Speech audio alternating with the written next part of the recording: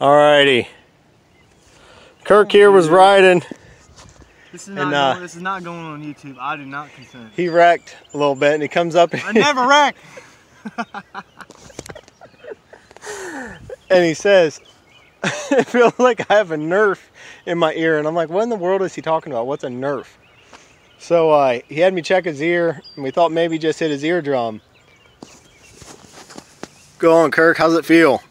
Still feels like I have a piece of nerve in my ear. So we looked and he ran into a honeysuckle bush and we looked out here when we got in good light and he's got a stick jammed way up in his ear. Should have had a mask on it. Yeah, you can't see it, but it is up there. So I'm gonna do some tweezer surgery and try and get it out. Pretty sure I got my good tweezers in here.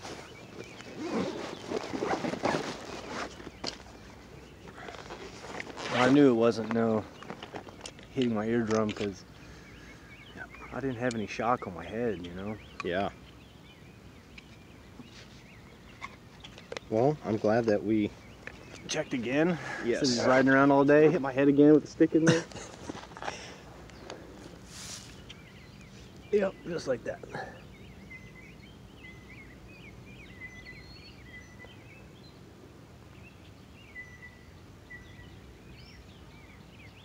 Oh, sorry. No, just the pressure was just like, oh shit.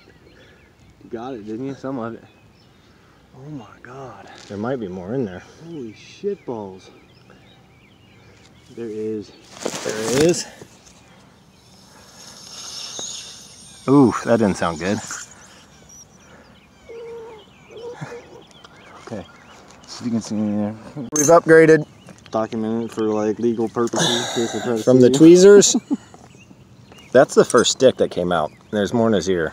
And I couldn't even see that when I looked. We were in the woods. To these. What are they called? Calipers. Calipers. So, Not feeling any better? feels any. Feel better after that stick came out. but it wasn't poking me. That's the weird thing. Well, it's because it was touching your brain. Oh yeah. That's a good, good spot there. Pull on my ear too. If that. Yep, I will. I Got you. Let go.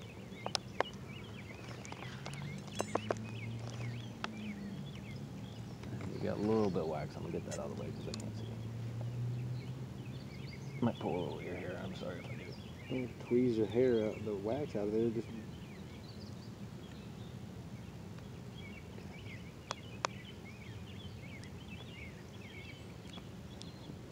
You okay? Mm-hmm. Pull it out. I didn't get it. Got a little bit further to go. Are you okay? Well, I'm almost. I'm almost as nervous about it just it get pushed further in. I know.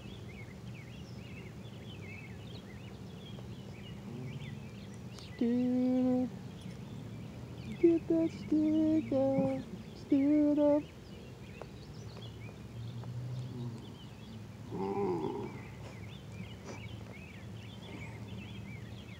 I'm gonna try going upside down.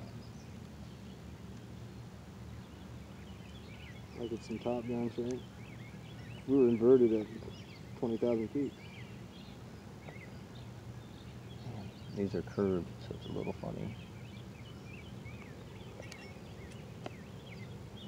Maybe I should just try to flush it out instead of this. Bro. That's it. Alright. I was a little too close to the, to the core of my ear. You gotta go to the doctor. Yeah. Oh, sorry guys, we didn't get it.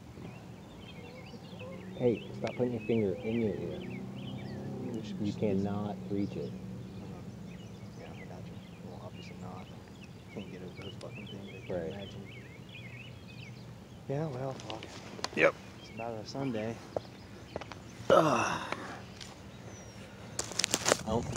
I was not victorious.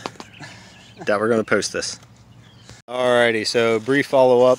Uh, we got two pieces out. They're pretty big, um, but just kind of concerned there might be a little tip left in his ear. So Kirk is going to the urgent care, and he's going to try and uh, have them take a look and see if they can see anything. The last piece did have some blood on it, so that was a little concerning. Um, it's probably about an inch and a quarter, maybe an inch and a half in total. Um, and then it was probably the tip that we got out would have been probably at least two inches up in his ear. It's pretty far up there. So pretty concerning. Um, he's going to go get it checked out, make sure he's okay. Yeah, it stinks. So he's going to text me with some information once he's done. Hopefully it's good news and everything's out or they find a little piece and get it out. So we tried, did not get it all out or we got everything we could out, but ah, stinks. Makes you think twice about wearing hearing pro when you're mountain biking. All right, take care, America.